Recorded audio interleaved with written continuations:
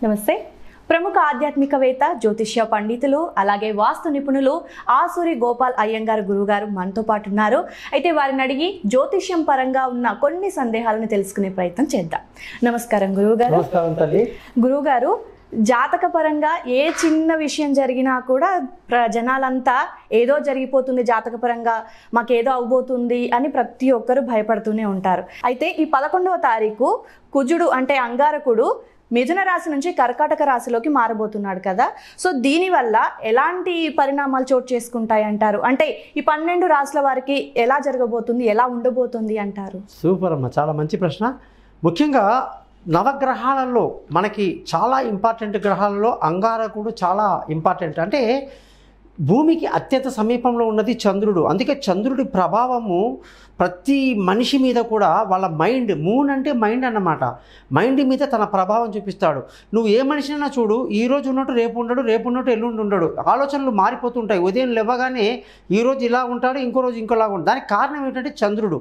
చంద్రుడి యొక్క ప్రభావం భూమి మీద ఎంత ఉంటుంది అంటే వాళ్ళ మెదడు మీద పనిచేసి ఒకరు సంతోషంగా ఉంటారు కొందరు మామూలుగా ఉంటారు కొందరు చాలా డిప్రెషన్లో ఉంటారు. దీనికంతా కారణం చంద్రుడి యొక్క స్థితి. అంటే వాళ్ళు పుట్టిన నక్షత్రాన్ని బట్టి ఆ రోజు ఉన్నటువంటి చంద్రుడి స్థితి ఏ నక్షత్రం నక్షత్రం మీద ఉందో వాళ్ళ మైండ్ ఆ విధంగా వర్క్ చేస్తుందన్నమాట. ఆ విధంగా కుజుడు రెండవ గ్రహం అంటే భూమికి అతి సమీపంలో ఉన్నటువంటి గ్రహం అంగారకుడు అంటే ఏంటి? నిప్పు ఫైర్. అంగారకుడు ఎన్ ఏ కుజుని యొక్క లగ్నమైనా తీసుకో మేష లగ్నం వృచ్చిక లగ్నం మేషరాశి వృష వృచ్చిక రాశి ధనిష్ట నక్షత్రం చిత్తా నక్షత్రం మృగశిర నక్షత్రం ఇవన్నీ కుజగ్రహానికి సంబంధించినవి అనమాట ఈ దీంట్లో పుట్టిన వాళ్ళకి కోపం ఎక్కువ. ఎందుకంటే అంగారకుడు నిప్పు కోపం ఎక్కువ అసహనము చికాకు ఎందుకు ఇలా ఉంటారు? అంటే ఆయా స్థితిలో కుజగ్రహ స్థితిని బట్టి చెప్పాలి. అందరికీ అలా ఉంటుందని కాదు. ఇకపోతే అంగారకుడి ప్రభావము తీవ్రంగా ఉంటుంది మనిషి మీద అని చెప్పడానికి. అంగారకుడు అంటే సుబ్రహ్మణ్య స్వామి అధిపతి. సుబ్రహ్మణ్య స్వామి అంటే ఏంటి? సాక్షాత్తు శివుని యొక్క పుత్రుడు కాబట్టి ఈయన సేనాధిపతి. అంటే దేవతలకు సేనాధిపతి అని చెప్పి ఈయన పోస్టు. సేనాధిపతి ఎలా ఉంటాడమ్మా? అంత హైటు ఎర్రని కళ్ళు పెద్ద భుజాలు ఎప్పుడూ యుద్ధకాంక్ష గెలుపే ధ్యేయంగా ఉండటం. అంటే యుద్ధం చేయడంలో ముందుంటారండి వీళ్ళు. అంటే వీళ్ళతో పెట్టుకుంటే మనకు ఒక- రకంగా చుక్కలు చెప్పించేస్తారు యుద్ధంలో నెంబర్ వన్ పట్టుదల ఎక్కువ. సో ఈ కుజుడి యొక్క అంగారకుడి యొక్క అధిపతి సుబ్రహ్మణ్య స్వామి కాబట్టి మన సుబ్రహ్మణ్యం అంటే శరీరంలో పొంగుతున్న రక్తం అంటారు. మన రక్త సంబంధికుడు సుబ్రహ్మణ్య స్వామి అంటే అన్నదమ్ములు అక్క చెల్లెళ్ళు అన్నద తల్లి తండ్రి కూతురు కొడుకు భార్య భర్త సంతానం లేని వాళ్ళకి ఆయననే మొక్కుతారు పెళ్ళి కాని వాళ్ళు ఆయననే మొక్కుతారు కుటుంబంలో అశాంతి ఉన్న వాళ్ళు ఆయననే మొక్కుతారు. ఈ విధంగా సుబ్రహ్మణ్య స్వామికి ఎన్నన చెప్పొచ్చు అంగారకుడికి అధిపతి అన్నమాట. ఇటువంటి గ్రహము ఎప్పుడైతే కర్కాటక రాశిలోకి ప్రవేశిస్తుందో అంటే పదకొండో తారీఖు నాడు కర్కాటకము కుజుడికి నీచ స్థితి అంటారు. అంటే బాగా పవర్లెస్ అన్నమాట తక్కువ. అటువంటి పరిస్థితిలో పునర్వసు మొదటి నాలుగో పాదంలో కొన్ని రోజులు ఒక వారం పది రోజులు ఉండి ఆ తర్వాత మెల్లగా పుష్యమి నక్షత్రం మీద నాలుగు పాదాల మీద ఉండడం అంటే ఒక పదిహేను రోజులు ఆ తర్వాత ఆశ్లేష నక్షత్రం మీద ఉంటాడండి. దీనిని ఆశ్లేష బలి అంటారు. ఎప్పుడైతే కుజగ్రహము ఆశ్లేష మీద ప్రయాణిస్తున్నాడో అప్పుడు అత్యంత అరిష్టమైన సమయాలు అన్నమాట ఆ టైంలో పుట్టిన పిల్లలకి సుబ్రహ్మణ్య స్వామి గుడిలో ముఖ్యంగా కుక్కే సుబ్రహ్మణ్య కర్ణాటకలో ఉంది. చాలా ఫేమస్ టెంపుల్ మహా అదృష్టం అనమాట దాని గురించి నేను చాలా చెప్పడం జరిగింది. అనేక ఎపిసోడ్లో కూడా. అటువంటి టెంపుల్లో పూజలు చేస్తారు. ఆశ్లేష నక్షత్రం నాడు చేస్తారు. కాబట్టి ఆశ్లేష బలి అనేటువంటి ఇబ్బందులు కూడా ఉంటాయి. అయితే గురువు గారు ఈ కుజుడు మామూలుగా పన్నెండు రాసుల వారికి అంటే కుజుడు మారిన దశ పన్నెండు రాసుల వారికి ప్రభావం ఒకేసారి చూపుతుందా? లేదంటే ఒక రాశిలోకి ప్రవేశిస్తే ప్రభావం ఒకలా వంద శాతం అందరికీ రకరకాలుగా చూపిస్తుంది. వాళ్ళ వాళ్ళ పరిస్థితిని బట్టి ఒక్కొక్కరికి ఒక్కోలాగా అది మీకు చెప్పబోతున్నాను.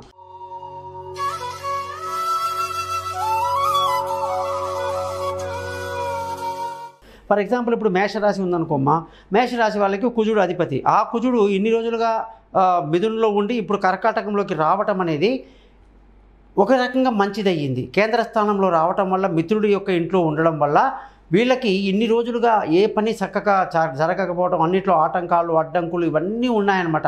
ఇవన్నీ తొలగిపోయి ఇప్పుడు వీళ్ళు మంచి శుభవార్తలు అందుకోవడం మానసిక ఉల్లాసాన్ని కలిగి ఉండడం ఇవన్నీ కూడా కలిగి ఉండడం అనేది జరుగుతుంది. కాబట్టి మేషరాశి వాళ్ళకి ఈ కు- గ్రహం యొక్క మార్పు కుజగ్రహం యొక్క మార్పు చాలా మంచి జరుగుతుంది అని చెప్పి చెప్పవచ్చు.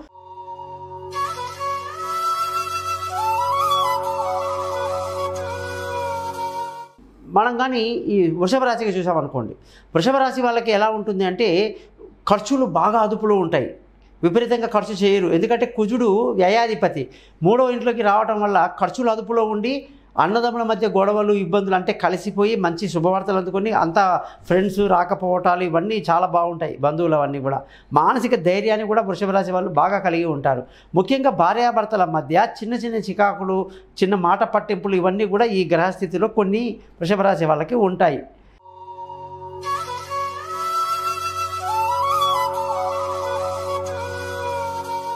సో ఇప్పుడు మిథున రాశి చూసామనుకోండి. మిథున రాశి వాళ్ళకి ఎలా ఉంటుంది? కుజుడు లాభాధిపతి అంటే పదకొండవ ఇంటి ఓనర్ వెళ్ళి రెండవ ఇంట్లోకి రావటం వ్యాపారస్తులందరికీ పండగే. మంచి లాభాలతో ఈ నెల ఈ వార ఇప్పుడు కుజుడు ఉన్న స్థానం నలభై ఐదు రోజులు ఉంటాడు కాబట్టి అదంతా కూడా చాలా బాగుంటుంది. వ్యాపారంలో మంచి లాభాలు ఉంటాయి. అలాగే ఆరోగ్యానికి అధిపతి కూడా కుజుడే మిథున రాశి వాళ్ళకి. కాబట్టి ఆరోగ్య విషయంలో కొంత జాగ్రత్తలు తీసుకుంటూ ఉండాలని చెప్పి చెప్పాలి.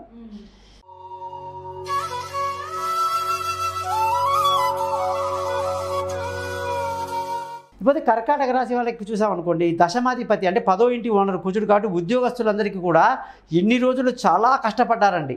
మిథునంలో కుజుడు ఉండడం వల్ల ఎంత కష్టపడ్డా గుర్తింపు లేకపోవటం ఏ కంపెనీ మానేద్దాం జాబ్ మానేద్దాం అన్నంత పరిస్థితిలో ఉన్న వాళ్ళకి కూడా సడన్గా ఒక మంచి వెలుగు అరే జాబ్లో మంచి ప్రమోషన్ కనిపిస్తుంది మంచిగా ఉన్నాడు సడన్గా బాస్ మారిపోయాడు పొజిషన్ బాగుంది కొత్త కొత్త ఆబ్జెక్టివ్ ఇచ్చారు పాత చికాగ్గా ఉన్న ఆబ్జెక్టివ్ మారిపోయింది ఇలాంటివి కొత్త కొత్త విషయాలు వచ్చేసి కర్ ఈ మిథున్ రాశి ఈ కర్కాటక రాశి వాళ్ళకి చాలా ఆనందాన్ని కలిగిస్తుంది ఉద్యోగంలో ప్రమోషన్లు ఇంక్రిమెంట్లు అధికారుల ప్రశంసలు కొత్త ఉద్యోగాల అవకాశాలు ఇంటర్వ్యూలో సక్సెస్ ఇవన్నీ కూడా అద్భుతంగా ఉంటుంది. అలాగే పిల్లల విషయంలో ఏం చేద్దాము? వాళ్ళు విదేశాలకి వెళ్ళాలి చదువుకోవాలి అన్న విషయాలు దూర ప్రయాణాలు చేస్తే ఎలా ఉంటాయి? భయంగా అంటే గంటల తరబడి చేయాలి అది ఎలా ఉండబోతుంది? ఇవన్నీ కూడా అద్భుతంగా ఉంటాయన్నమాట. అటువంటి ఇబ్బంది లేదు. తర్వాత కొన్ని తెలివి తక్కువ నిర్ణయాలు తీసుకొని మైండ్ బాగాలేక ఏదో చేశారు. ఇప్పుడు అవన్నీ చెయ్యరు. పక్కాగా ఏ ప్రణాళిక చేసినా కర్కాటక రాశి సూపర్గా చేస్తారు. ఓకే.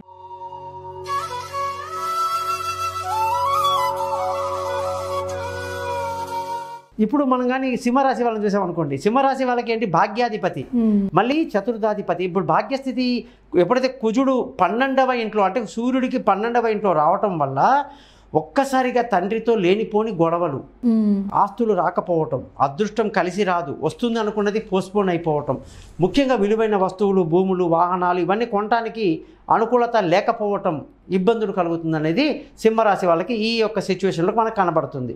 అలాంటి వాళ్ళకి కొన్ని కొన్ని పరిహారాలు ఉంటాయమ్మా అవి చేసుకుంటే చాలా బాగుంటుంది ఎటువంటి ఇబ్బంది లేదు.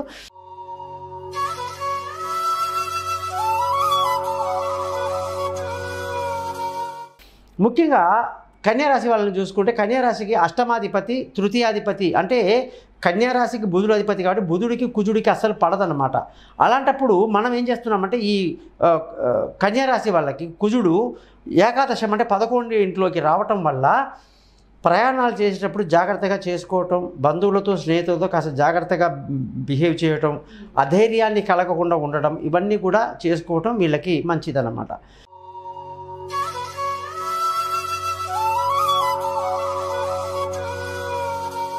తులారాశి వాళ్ళకి గమనించామనుకోండి సప్తమాధిపతి దశమంలోకి రావటం వల్ల అనేక రకాల భార్యాభర్తల మధ్య ఉన్న గొడవలు ప్రాబ్లమ్స్ అన్నీ సాల్వ్ అయిపోయి చాలా హ్యాపీగా ఉంటారు.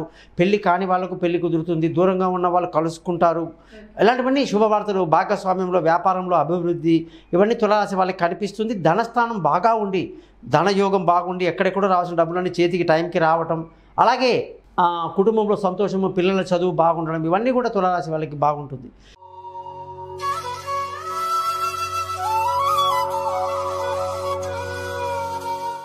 వృశ్చిక రాశి వాళ్ళకి చూసామనుకోండి వృశ్చిక రాశి వాళ్ళకి ఎప్పుడైతే కుజుడు భాగ్యస్థానం తొమ్మిదో ఇంట్లో వెళ్ళటం వల్ల అసలు ఎన్ని రోజులుగా ఉన్న చికాకులు దురదృష్టం అంతా తొలగిపోయి మంచి అదృష్టవంతులు అవుతారు సంతోషంగా ఆనందం గడుపుతారు తండ్రి నుంచి రాసిన ఆస్తులు వస్తాయి న్యాయంగా ధర్మంగా ఉంటారు చాలా బాగుంటుంది. అలాగే ఆరోగ్యపరమైన విషయాల్లో కూడా ఈ వృశ్చిక రాశి వాళ్ళు జాగ్రత్తలు తీసుకోవాల్సిన పరిస్థితి కనిపిస్తుంది.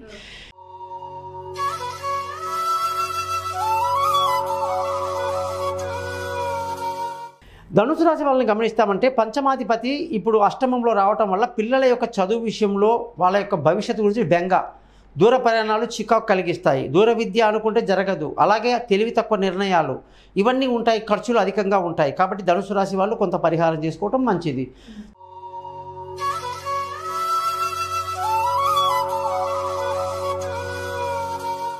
మకర రాశి వాళ్ళకి ఈ చతుర్థాధిపతి అంటే నాలుగవ ఇంటి ఓనర్కి కుజుడు అధిపతి భాగ్య ఏకాదశాధిపతి కాబట్టి సొంత ఇల్లు వాహనాలు విలువైన వస్తువులు ఇవన్నీ కొనటం తల్లి ఆరోగ్యం బాగుండడం అన్నీ చాలా బాగుంటాయి.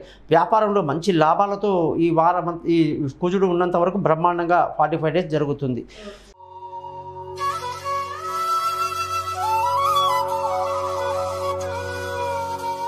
కుంభరాశి వాళ్ళకి కానీ చూసుకుంటే కుంభరాశి వాళ్ళకి ఎప్పుడైతే బంధువుల స్నేహితుల సహాయ సహకారాలు బాగా పెరగటం ఎన్ని రోజులుగా లేని బంధువులు వచ్చి పలకరించడం ధైర్యాన్ని బాగా కలిగి ఉండడం ఆరోగ్యం బ్రహ్మాండంగా ఉండడం ఇవంతా కుజుడు మారడం. కుజుడు యొక్క మారడం వల్ల అయితే ఉద్యోగస్తులకి కాస్త ఇబ్బంది కలిగే పరిస్థితి అనమాట ఉద్యోగంలో జాగ్రత్తగా ఉండాలి పొరపాటు చేయకూడదు ఇబ్బందులు కలిగే అవకాశాలు ఉద్యోగాలు మారే అవకాశాలన్నీ కనిపిస్తాయి కాబట్టి కుంభరాశిలో ఉద్యోగస్తులకి కొంచెం మంచిది కాదు.